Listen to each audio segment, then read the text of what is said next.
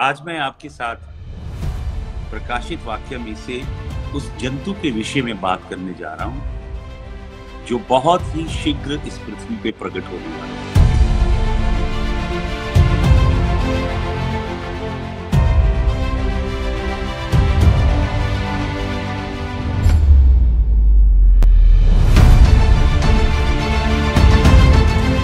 Hallelujah. Thank you, Jesus. Thank you, Lord Jesus. Hallelujah. Thank you, Lord Jesus. Thank you, Lord Jesus.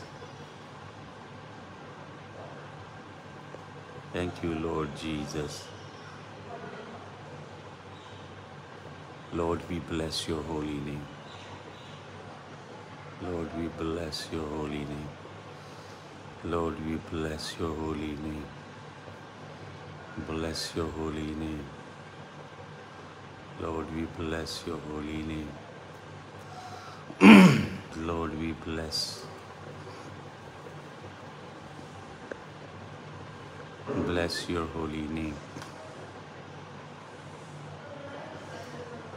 Hallelujah.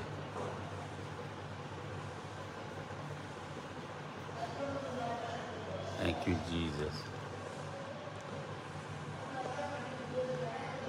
Bless your name, bless your name. Bless your name. Lord, we bless your name. Lord, we bless your name. We bless your bless your name. Bless your name, bless your name, bless your name. Hallelujah. Lord, we bless your name. Lord, we bless your name. Lord, we bless your name. प्रार्थना करें pastor Chandar जी दुआ मांगे पवित्र पवित्र ਧੰਨਵਾਦ ਸ਼ਾਮ ਦੇ ਸੰਗਤੀ ਲਈ ਤੁਹਾਡਾ ਜੈਕਾਰ ਤੁਹਾਡੀ ਕਰਦੇ ਖੁਦਾ ਯੀਸ਼ੂ ਦਾ ਲਹੂ ਮੁਕਾਰਦੇ ਖੁਦਾਵੰ ਤੁਹਾਡੇ ਜਵਾਨ ਸਾਡੇ ਲਹੂ ਨੂੰ ਖੁਦਾਵੰ ਖੁਦਾ ਤੇ ਖੁਦਾਵੰ ਮਹਾਨ लाड़े लहून प्रतापन प्रसाद महान पितावन वाडिनाल की समासी पिता हालेलुया बशिक कर भजन रंग करवन गीता रंग प्रार्थना जोग सामाजिक कर कर दरबार साड़ी जुरी जगह में मंडला और खुदावन हर एक जन का तो दिल्लहू की कसम दे दी खुदावन खुदावन खुदावन उन्होंने खुदावन महान परमेश्वर, हर एक जन मदद खुदावन आज शाम तक जीवनानंद ਤੁਹਾਡੀ ਮਹਿਮਾ ਨਾਲ ਤੇ ਦਾਸ ਨੂੰ ਸਿਫਤ ਲੈ ਕਰਾਂ वचन खुदावन अपने खुदावन दया कर सारा जलाल प्रार्थना मसीह के नाम आमीन हालेलुया hallelujah praise the name of the Lord hallelujah आइए जबूर गाए। मैं खुश होया जो मैनू आख लगे के आओ यहोवा दे। कर चलिए के आओ। यो वादे कर चलिए। मैं खुश होया जो मैनू आख लगे।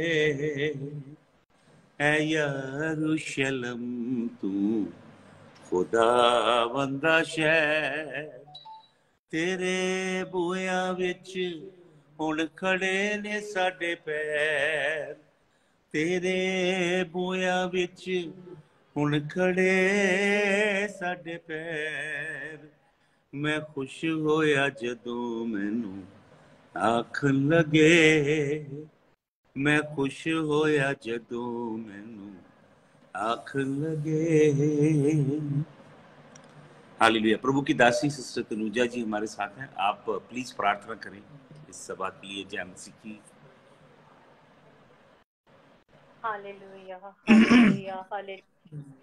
महान जीवित सामर्थी अनुग्रहकारी परमेश्वर स्वर्ग में विराजमान हमारे स्वर्गीय पिता आपके इकलौते पुत्र यीशु मसीह के नाम से यीशु मसीह के लहू के द्वारा पिता परमेश्वर हम सब पिता आपकी हजूरी में आते आपके चरणों में आते पिता हम आपके सामने झुकते हैं पिता दंडवत करते पिता और आपके नाम को ऊँचा करते पिता। आदर्श महिमा जलाल आपको देते पिता। आप हमारे अवीनु मलकीनु है। आप हमारे अवून ध्वश में हो पिता। हम आपकी सराहना करते पिता। आपके उपकारों के लिए, दया के लिए, अनुग्रह के लिए एक लौते पुत्र यीशु मसीह को हमारे जीवन में एक उपहार के रूप में देने के लिए पिता परमेश्वर हम आपका धन्यवाद करते हैं पिता। आज के सुंदर दिन के लिए सुंदर समय के लिए यीशु मसीह, हम आपका धन्यवाद करते हैं पिता। इस संगति में जोड़ने के लिए पिता परमेश्वर, हम आपका धन्यवाद करते हैं पिता। उन्हें दीजिए पिता, जब हम इस संगति में जुड़े हैं पिता, पूरी ब्रॉडकास्ट को पिता, सारे नेट को, सारे फ़ंक्शन में पिता, आपके लहू को मांगते हैं मेरे पिता परमेश्वर। आप कार्य करें मेरे पिता परमेश्वर, जब आपका हमारे बीच में पिता, तोड़ा जाता है पिता, वो वचन रूपी रोटी जब हमारे बीच में तोड़ी जाती है पिता तो सचमुच पिता, जब हम उसे खाएँ तो वो हमारे गूदे कूदे को, प्रभु जी, हमारे प्राणों को परिपक्व करने पाए पिता। हमारे प्रभु जी, इससे पिता, सचमुच हम प्रभु जी प्रभु जी, पुष्ट होस्ट पुष्ट हो जाए। यीशु मसीह आपके नाम से पिता, आप सहायता और मदद करें। पूरी ब्रॉडकास्ट का प्रभु जी, में आप निगेबानी करें मेरे पिता परमेश्वर। जितने भी लोग जुड़ते हैं और जो सुनते हैं मेरे परमेश्वर, प्रभु जी इस वचन को ग्रहण करते पिता, उनकी बुद्धि खुल जाए मेरे परमेश्वर। वो इसे ग्रहण करने वाले नहीं, परंतु इस पर चलने वाले भी होने पाए, लॉर्ड। पूरी सभा को पिता परमेश्वर हम आपके हाथों में सौंपते हैं। पवित्र आत्मा, आपकी अगुवाई, सहायता, मदद को मांगते हुए आदर, महिमा, जलाल आपको देते हैं और इस प्रार्थना को हमारे उद्धार करता यीशु नासरी के नाम से मांगते हैं। आमेन। आमीन हालेलुया जय मसीह की जय मसीह की हालेलुया आज मैं आपके साथ प्रकाशित वाक्य में से उस जंतु के विषय में बात करने जा रहा हूँ जो बहुत ही शीघ्र इस पृथ्वी पे प्रकट होने वाला है। इस पृथ्वी के ऊपर ऐसे घटनाक्रम बहुत ही जल्दी से हो रहे हैं जो इस बात की ओर इशारा कर रहे हैं कि पृथ्वी के ऊपर बहुत बड़ी तब्दीलियाँ चेंजेस बहुत रैपिडली आने वाली हैं। और इस जगत में, इस जगत का शासक आने वाला है, जो इस संसार पे राज्य करेगा। इस जगत में सियासी उथल पुथल है इकोनॉमिक फाइनेंशियल उथल पुथल है पॉलिटिकल इकोनॉमिक सोशल सामाजिक रीति से उथल पुथल है।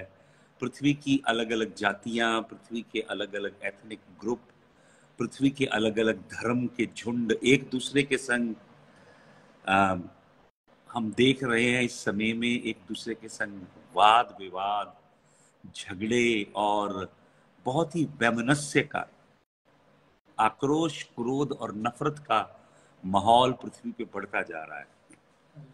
तो आकाश के अंदर सितारों में उथल पुथल है सूर्य की सतह पे उथल पुथल है चाँद की सतह पे उथल पुथल है सेलेशियल बॉडीज ये चीज़ की ओर इशारा कर रही है कि पृथ्वी पे, पे एक बहुत बड़ी तब्दीली आने वाली है।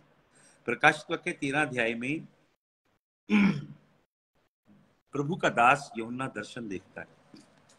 Now in my vision, I saw a beast rising out of the sea. क्या दर्शन देखता है योना कि एक जंतु समुन्द्र के बीच में से बाहर निकल रहा है।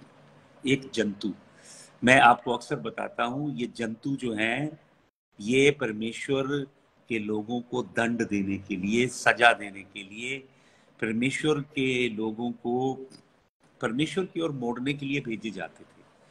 प्रभु अपने वचन में कहता है, सत्तर बार प्रभु, ये वचन दोहराता है, मैंने आपको कई बार बताया, उत्पत्ति से लेके मलाकी नबी की पुस्तक तक, प्रभु कहता है, यदि तुम मेरी आज्ञा नहीं मानोगे, यदि तुम मेरे वचनों की ओर मनचित लग, नहीं लगाओगे, यदि तुम मेरी आज्ञाओं की चौकसी से पालना नहीं करोगे तो मैं तुम्हारे बीच में, प्रभु कहता है, तलवार भेजूँगा। फिर कहता अकाल भेजूँगा। फिर प्रभु कहता मरी भेजूँगा, प्लेग। फिर भी अगर तुम बाज नहीं आए तो फिर मैं बीस्ट भेजूँगा, जंतु।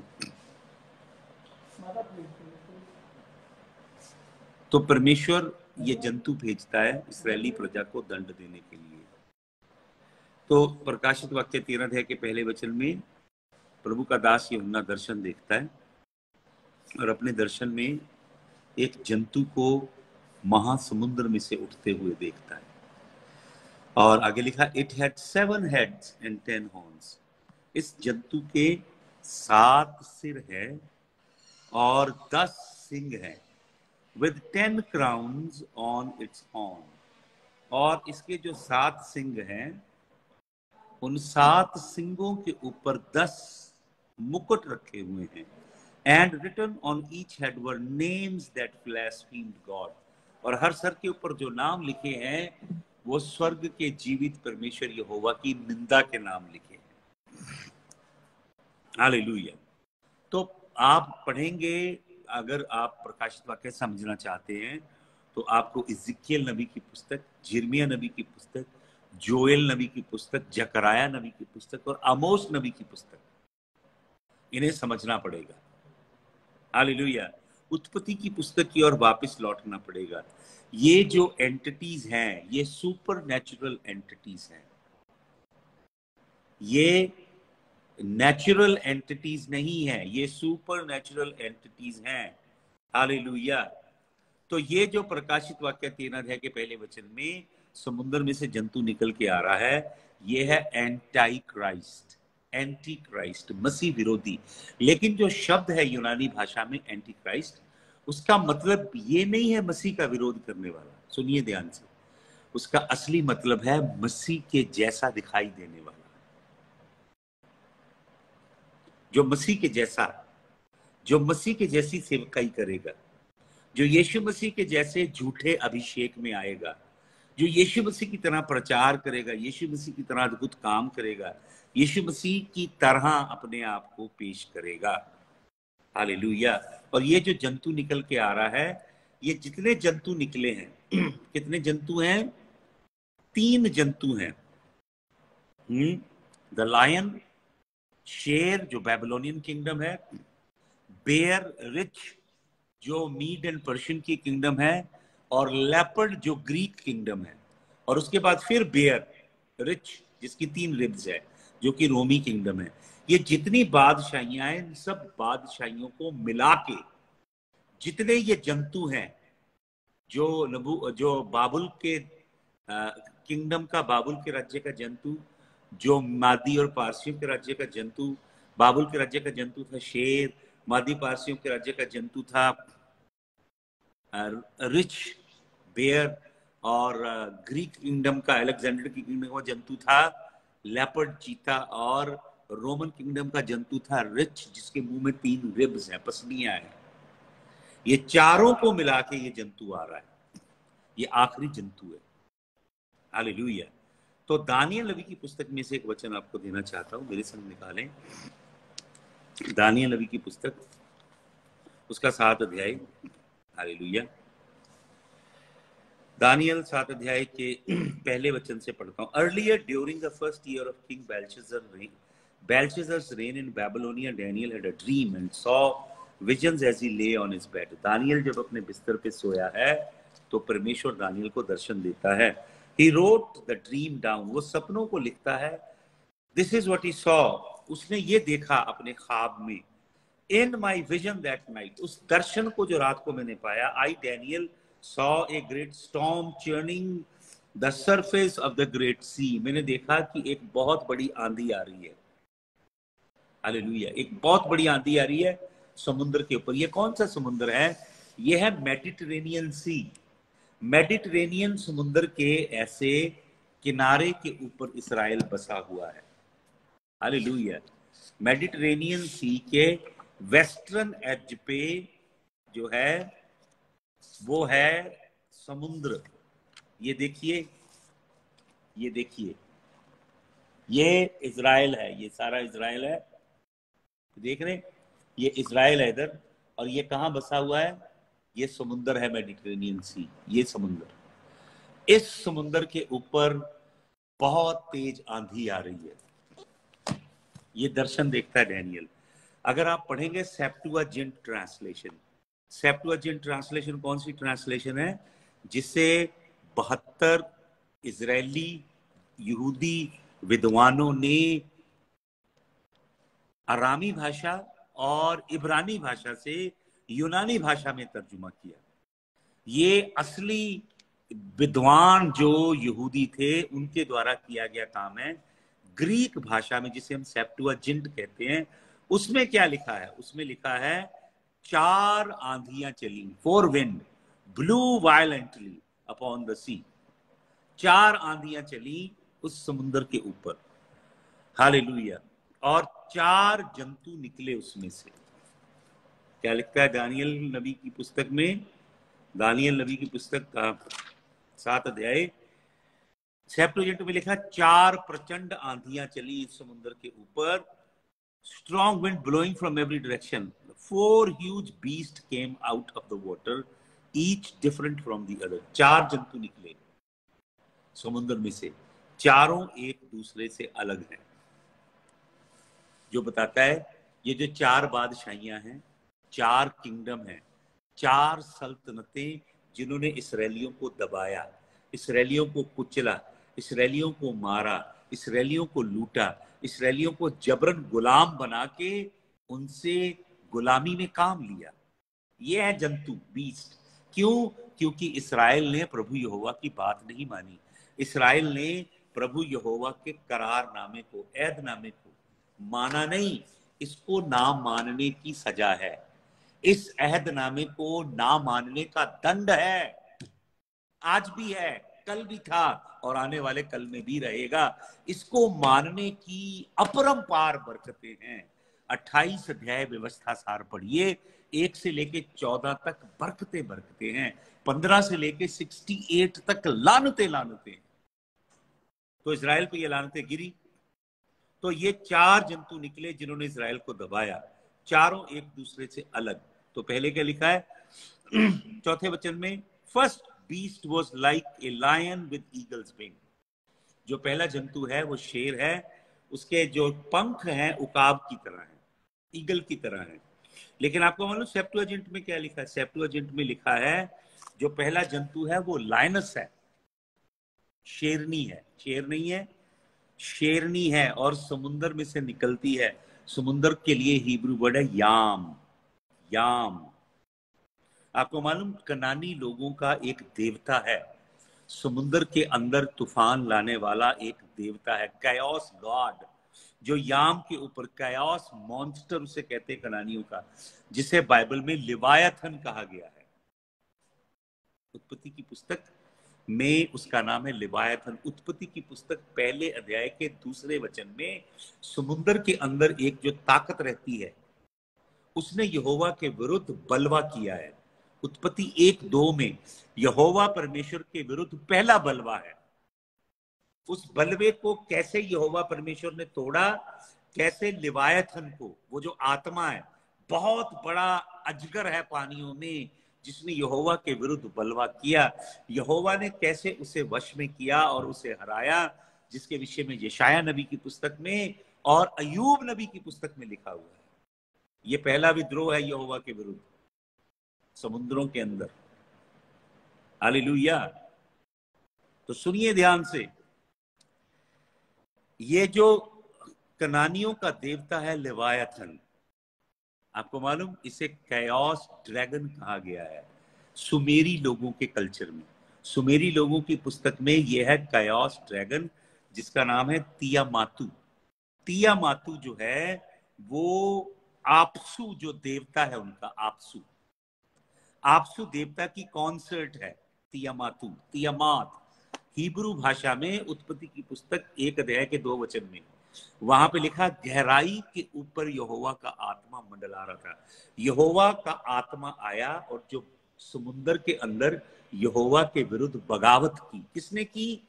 एक तो लिवायथन ने की, जिसे तियामात लिखा गया है। गहराई ने की, जिसे हिब्रू भाषा का वर्ड है, ताहोम।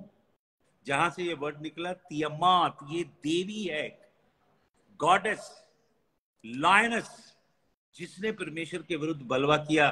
और आपसू की कॉन्सेप्ट है, जो गहराइयों के फ्रेश पानियों की देवी है।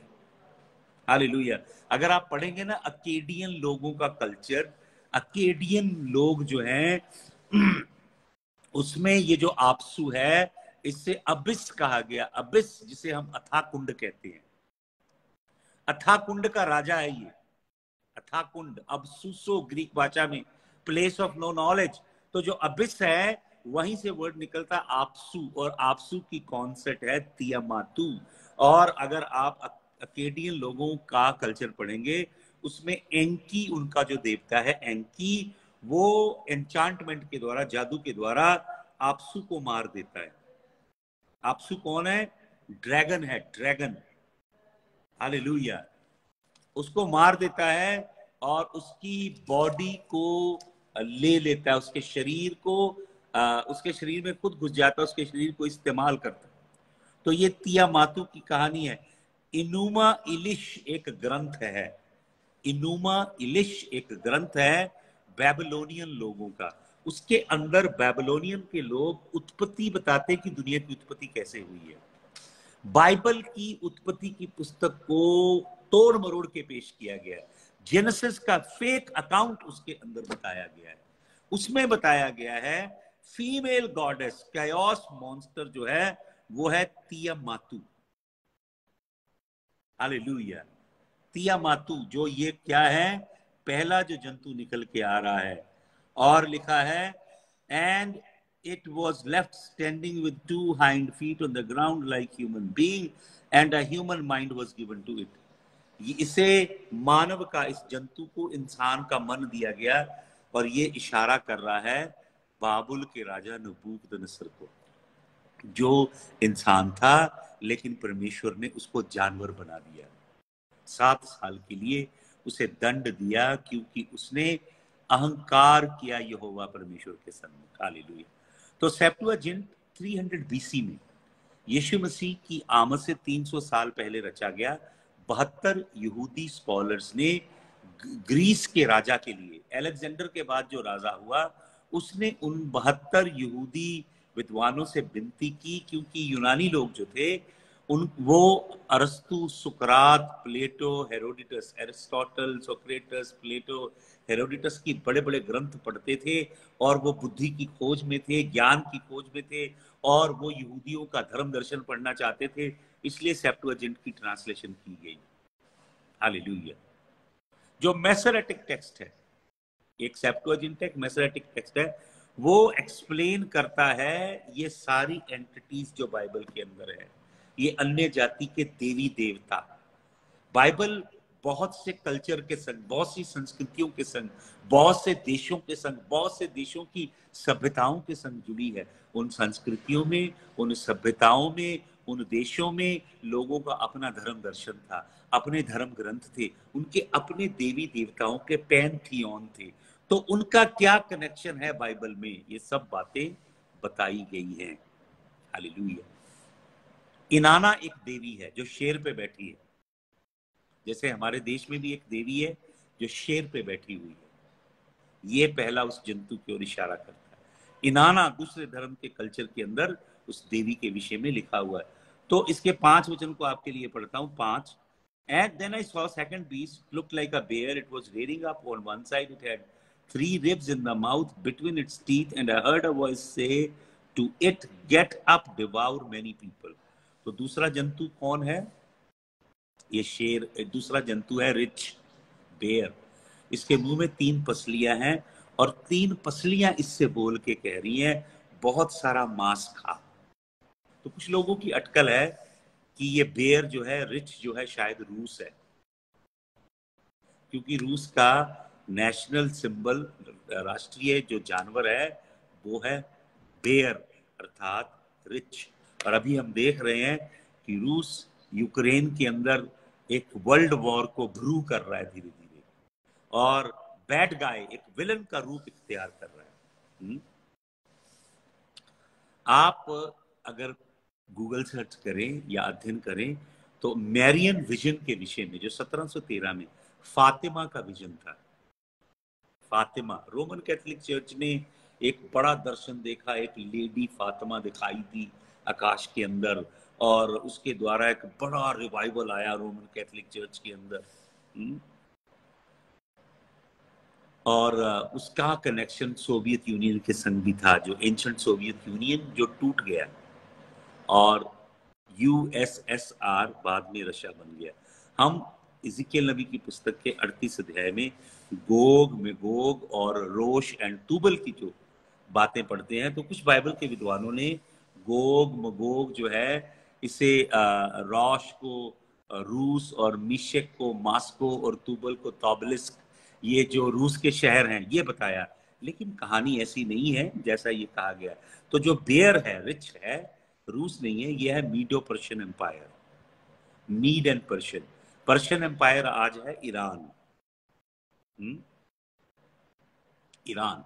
जब रशिया में रेवोल्यूशन आया तो इंग्लैंड और अमेरिका इसके विरुद्ध में थे। अभी भी आप देखते हैं वो एंशंट राइवलरी चल रही है।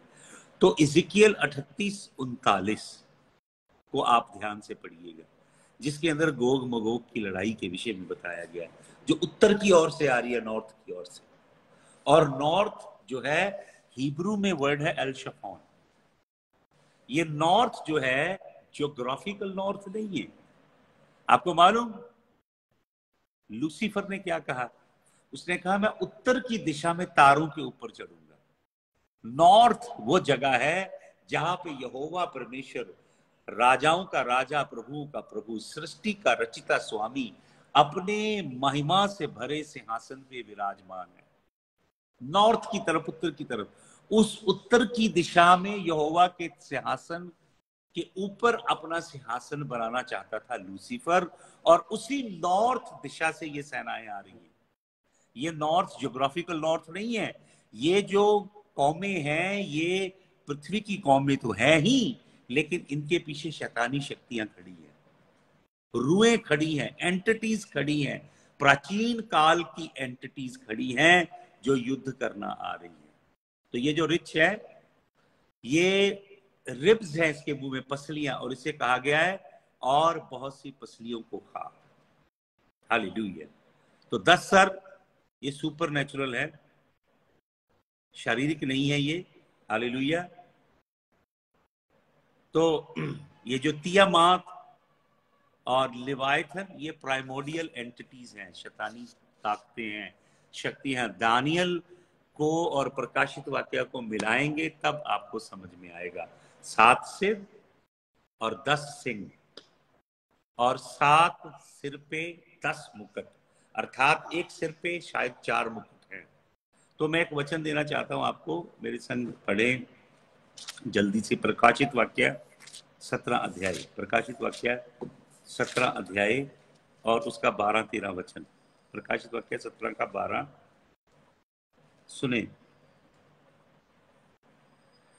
His ten horns are ten kings. दस जो सिंह हैं, दस राजे हैं, who have not yet risen to power. जिनको अभी शक्ति नहीं मिली है, जिनको अभी राज्य नहीं मिला they will be appointed to their kingdom for one brief moment एक घंटे के लिए उनको राज्य मिलेगा and they will to reign with the beast वो जंतु के साथ एक घंटे के लिए राज्य करेंगे।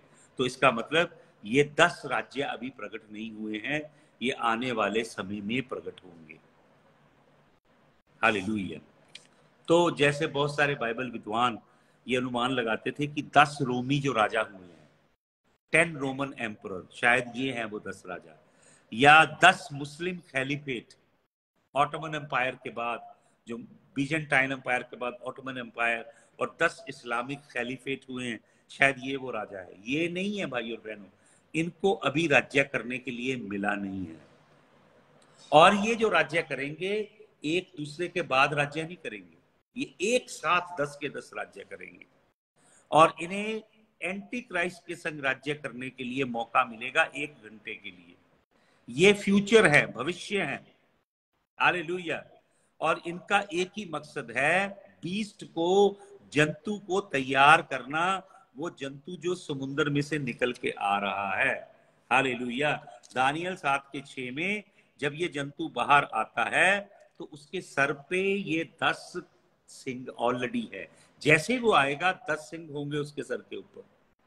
सात सिरों के ऊपर दस मुकुट होंगे उसके ऑलरेडी तो ये राजा अभी प्रकट नहीं हुआ। हाल कुछ कहते हैं ये इस्लाम है, कुछ कहते हैं ये रोमन कैथोलिक चर्च है। तो अभी ये प्रकट नहीं हुए, ये प्रकट होंगे। और दानियल साथ की साथ में क्या लिखा है? इन दस सिंगों के बीच में एक छोटा सिंह निकल के आता है। जो एंटी क्राइस्ट है। और वो क्या करता है? तीन सिंगों को उखाड़ देता है। और सात सिंह रह जाते हैं और उनके बीच में से वो खड़ा होता है। और फिर भी वो दस कैसे होते हैं? शायद वो तीन को फिर स्टैब्लिश करता है। तो प्रकाशित वाक्य तेरह अध्याय के दो वचन को आपके लिए पढ़ता हूँ। यहाँ पे लिखा है तेरह के दो में and this beast looked like leopard ये जो समुद्र से निकला जंतु कैसा है? चीते की तरह है, भालू के जैसे पाँव हैं और शेर के जैसा मुँह है। एंड द ड्रैगन और अजगर उसे अपनी ताकत देता है। एंड ताकत देता है and throne and great authority उसे अपना तख्त भी देता है ड्रैगन उसे अपनी ताकत भी देता है और उसे अपना अधिकार भी देता है। ये चीता, भालू और रिच तीनों का मिलाप है। चीता भालू रिच। हम्म? तो जो एलेक्जेंडर का राज्य है, सिकंदर महान का, वो है भाइयों, एलेक्जेंडर का जो राज्य था, वो था लेपर्ड की तरह। हालेलुया। पर्शिया का जो राज्य था, वो था रिच की तरह बेर की तरह। अभी मैं आपको एक वचन देना चाहता हूँ, मेरे संग पढ़े। बड़ा एक अद्भुत वचन है, मीका नबी की पुस्तक में। मीका नबी की पुस्तक। Jonah, Micah, Nahum Habakkuk Micah पाँच अध्याय, और उसके पाँच वचन से पढ़ता हूँ आपके लिए। मीका पाँच। ये पाँच वचन से। And he will be the source of our peace when Assyrian invade our land and break through our defenses we will appoint seven ruler to watch over us eight princes to lead us they will rule Assyria with drawn sword and enter the gates of the land of Nimrod they will rescue us from the Assyrian when they pour over the border to invade our land. Assyrian कौन है ये Nimrod अब यहाँ पे मीका नबी की पुस्तक में निमरोद का ज़िक्र क्यों हो रहा है निमरोद तो उत्पत्ति की पुस्तक में मर गया है निमरोद ही एंटी क्राइस्ट है निमरोद के आत्मा में वापस लौटेगा वो जंतु हालेलुया असीरिया असीरियन हालेलुया शैतान अपना सिंहासन जंतु को देता है। अलेलुया और शैतान का सिंहासन कहाँ पे है? कहा बाइबल में शैतान के सिंहासन का ज़िक्र हुआ है? उत्पत्ति की पुस्तक में। सॉरी, उत्पत्ति नहीं, प्रकाशित वाक्य में। प्रकाशित वाक्य के अंदर चलिए। हालेलुया। प्रकाशित वाक्य में शैतान के सिंहासन का ज़िक्र हुआ है। और आपको मालूम शैतान के सियासत के विषय में कौन बताता है? स्वयं प्रभु यीशु मसीह बताते हैं। पढ़िए आप प्रकाशित वाक्य दो अध्याय, उसका बारह वचन। परगमम की कलिसिया के नाम जो चिट्ठी प्रभु भेजते हैं, उसमें क्या कहते हैं? प्रभु क्या कहते हैं? उसका तेरह वचन, प्रकाशित वाक्य दो का तेरह। I know that you live in the city where there were that great throne of Satan is located शैतान का सिंहासन कहाँ पे था? यीशु मसीह जब ये चिट्ठी लिखवा रहे हैं परगमम में। ये शैतान का सिंहासन है। And yet you have remained loyal to me तू मेरे लिए वफादार रहा है। प्रभु कहता है, तेरे शहर में शैतान का सिंहासन है। यहाँ पे शैतान का जो सिंहासन है, आपको मालूम वो क्या था? वो जूस देवता का मंदिर था। बहुत बड़ा मंदिर। जिसकी सैकड़ों सीढ़ियाँ से ऐसे चढ़ के जूस देवता को माथा टेकने लोग जाते थे। ये जो जूस का मंदिर था, ये बेल गॉड है, बेल गॉड, ये स्टॉर्म गॉड है, तूफ़ान का देवता है। हालेलुया। और ये है शैतान। शैतान का यहाँ सिंहासन है। और आपको मालूम, ये जो परगम में शैतान का सिंहासन था, इस पूरे सिंहासन को उठा के हिटलर लेके गया कहाँ पे? इटली में। हिटलर। सॉरी इटली इटली में नहीं जर्मनी में जर्मनी में। एक्सक्यूज मी हिटलर इसे जर्मनी में लेके गया और इस सिंहासन को उसने एस्टैब्लिश किया। ये शैतान का सिंहासन। हालेलुया तो प्रभु बताता है, ये सिंहासन कहाँ था? टर्की में था। प्रकाशित वाक्य में, परगमम की कलीसिया है टर्की में। हालेलुया। तो एक और वचन देता हूँ आपको, प्रकाशित वाक्य सत्रह अध्याय, उसका नौ वचन से पढ़े। And now understand this seven heads of the beast represent seven hills of the city where this woman rules अब क्या बताता है? सात जो सिर हैं इस जंतु के वो कैपिटल है, कैपिटल जहाँ पे ये औरत राज करती है। कौन है ये औरत? ये वेश्या है। सेवन हेड, सात सिर, सात पहाड़ है। सात पहाड़ों पे एक शहर बसा है। इटली में, इटली, वैटिकन सिटी। सात पहाड़ों पे बसा हुआ नगर है। तो ये सात जो पहाड़ हैं, ये सात राज्य हैं, सात किंगडम हैं। इसमें सात किंग रूल करते हैं।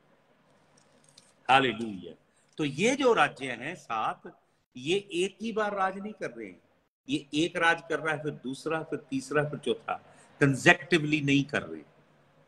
हालेलुया। इसमें से पाँच चले गए हैं। किस समय? जब यहुन्ना ये पत्री लिख रहा है।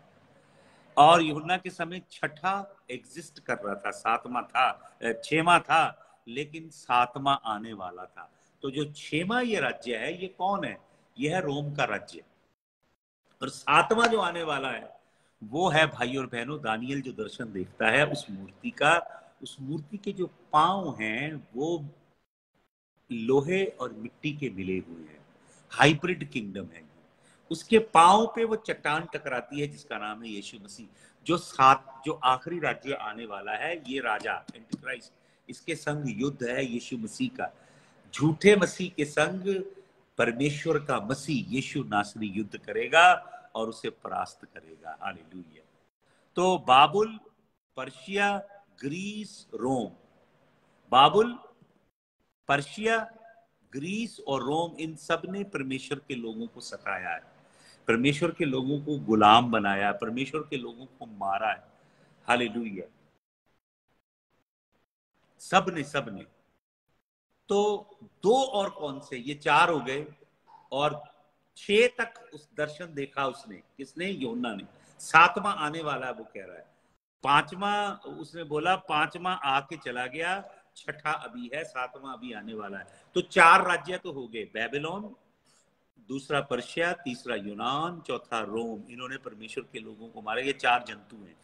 और दो इससे पहले के कौन से हैं? सुनिए ध्यान से। सबसे पहला राज्य देश जिसने यहोवा परमेश्वर की प्रजा इसराइल को सताया, दुख दिया, गुलाम बनाया, दास बना के अपने देश में रखा, वो है मिस्र, इजिप्ट। हालेलुया। और दूसरा राज्य जिसने यहोवा के लोगों को सताया और गुलाम बना के ले गया, वो है असीरिया, अशूर।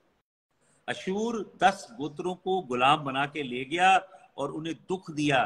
तो मिस्र अशूर, मिस्र, अशूर, बेबलोन, पर्शिया, ग्रीस, रोम, ये छह राज्य हो गए।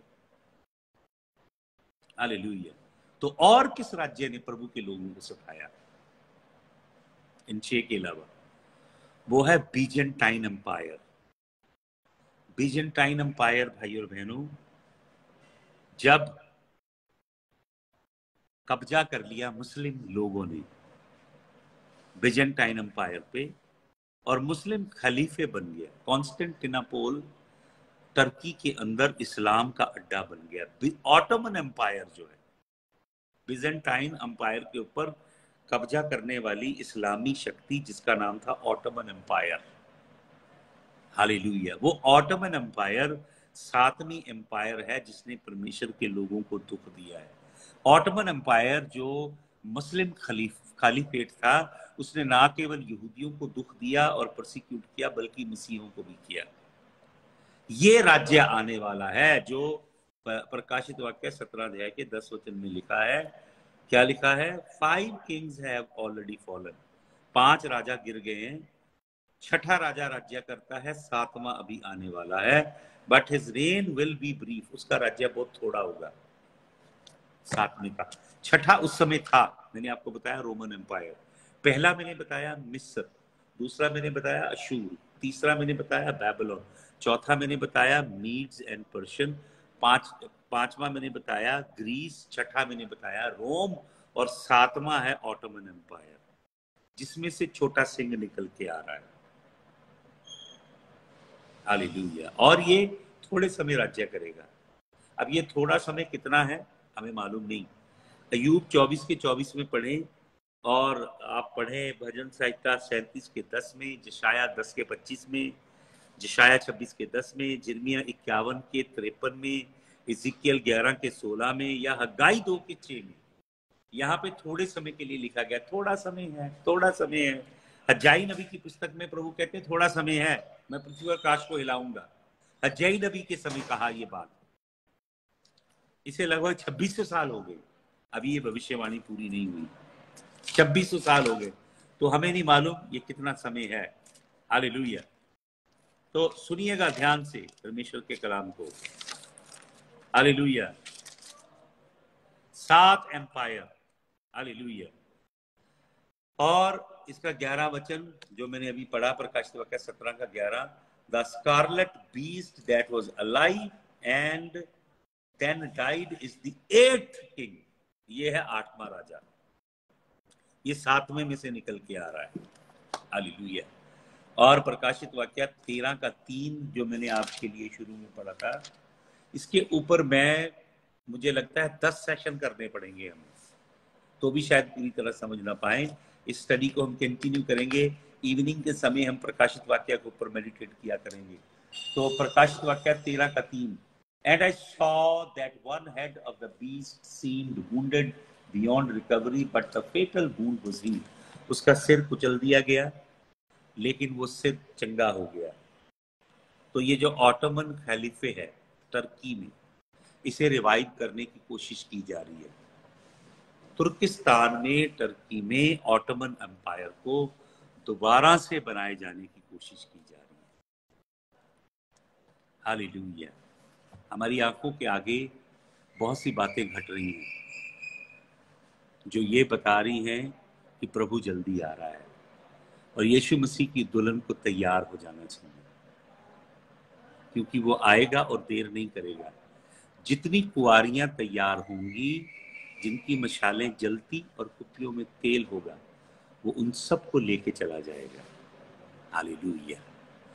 प्रभु जी, मैं प्रार्थना करता हूँ विपिन शर्मा के लिए और डेजी वी एस के लिए, आपका लव इन पे छिड़कता हूँ। हरदीप मसीह उनकी मदर के लिए चंद्र मोहन के लिए, सुरेश कुमार के लिए, गीता मसीह के लिए, अनीता रानी के लिए, विशाल चीडा के लिए।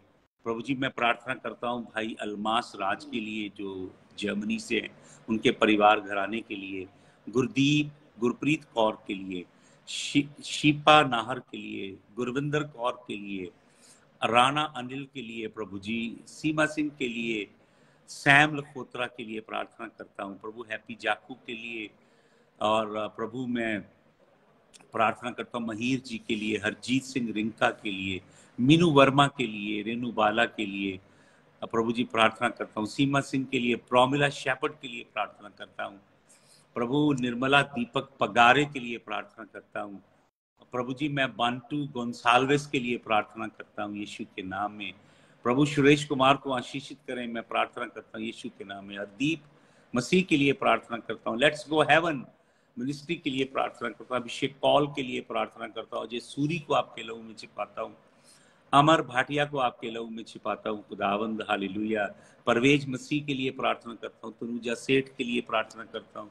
बिनाया संदीप के लिए प्रार्थना करता हूँ, खुदावंद, प्रभु, हालेलुया, ललित मेहरा भाई के लिए, एंथनी बत्रा के लिए प्रार्थना करता हूँ, बत्रा फैमिली को आपके लहू में छिपाता हूँ, खुदावंद, यूसुफ यहूरा के लिए प्रार्थना करता हूँ, आयरीन खान, कैनरा से इन सबको आपके लहू में छिपाता हूँ, खुदावंद। अपनी बरकत के साय के नीचे रखिए, खुदावंद। यशु मसीह आपके जलाली नाम में इस प्रार्थना को हम मांगते हैं। आमीन। आमीन। जय यीशु मसीह।